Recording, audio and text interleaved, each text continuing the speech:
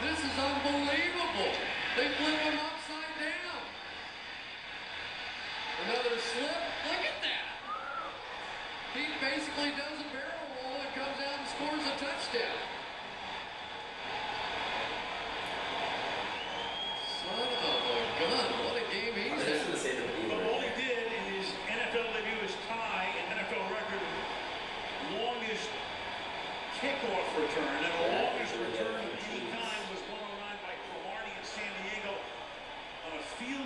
Cromartie